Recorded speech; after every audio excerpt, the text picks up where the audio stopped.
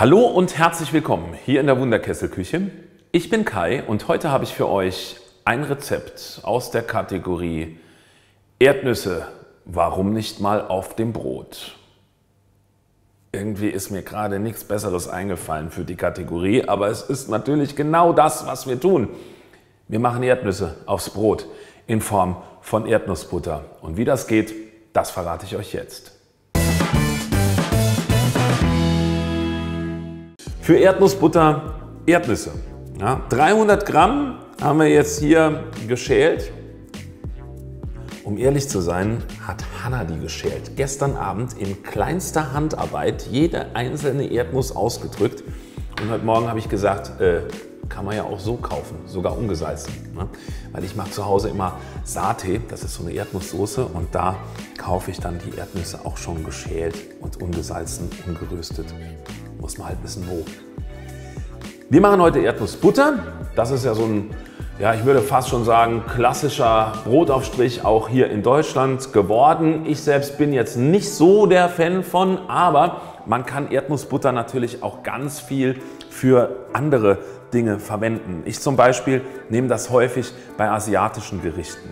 Da äh, kann man einfach so einen Esslöffel Erdnuss Butter in, in den Wok geben zu Wokgemüse und sowas. Das gibt dem Ganzen nochmal einen sehr, sehr leckeren Geschmack, auch bei Currys und so weiter und so fort.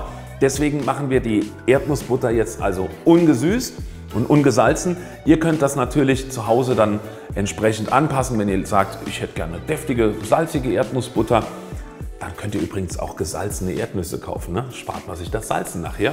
Ansonsten ganz neutral, nur Erdnussgeschmack und dann isst man das, glaube ich, ich weiß nicht, mit Gelee oder so. Nicht jedermanns Sache. Also meine ist es nicht.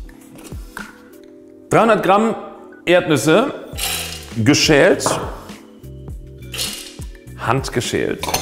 Und die schmecken dann ganz besonders gut. Werden wir jetzt im Thermomix fein mahlen. Und das bedeutet Stufe 10. Ähm, ich denke mal, so 10 Sekunden braucht es auf jeden Fall. Ich gucke zwischendurch trotzdem mal rein. Aber egal wie lange es ist, es wird auf jeden Fall jetzt erstmal sehr, sehr laut.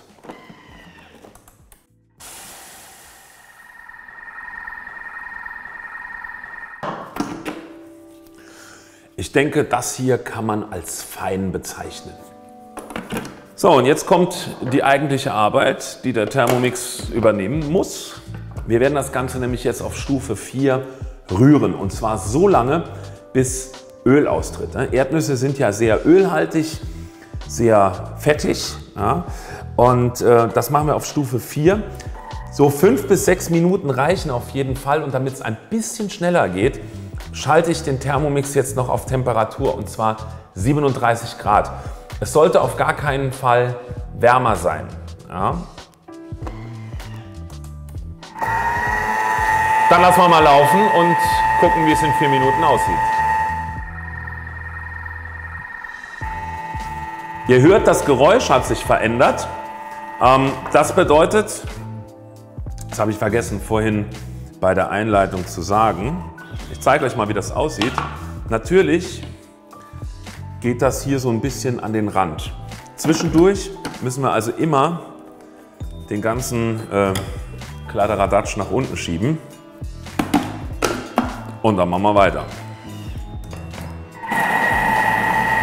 So, ich habe es jetzt doch ein bisschen länger als nur vier Minuten vor sich hin rühren lassen. Oder fünf Minuten, es waren insgesamt knapp zehn Minuten. Ähm, das hat jetzt doch schon eine durchaus cremig anmutende Konsistenz. Ganz wichtig hier nochmal ein Allergiker-Hinweis. Dieses Gericht kann Spuren von Nüssen enthalten. Wir schmieren das jetzt mal hier auf äh, Toast. Dann gibt es das obligatorische Abschlussfoto und dann esse ich Erdnussbutter auf dem Sandwich. Ja. So, wir haben das Ganze jetzt so ein bisschen ähm, fürs Foto angerichtet. Ja. Farblich etwas reizarm und Hanna, die ja generell Tendenzen dazu hat, die Fotos ästhetisch rüberkommen zu lassen, hatte einen ganz kurzen Anflug das Ganze mit ein wenig Petersilie zu garnieren, so wie sie es bei vielen Gerichten tun. Und wenn ihr uns schon länger folgt, dann wisst ihr, was ich meine. Achso, und falls ihr uns noch nicht folgt, das solltet ihr auf jeden Fall tun. Hier gibt es so einen Abonnieren-Button, da einfach draufdrücken, denn hier gibt es regelmäßig tolle Rezepte aus und mit dem Thermomix.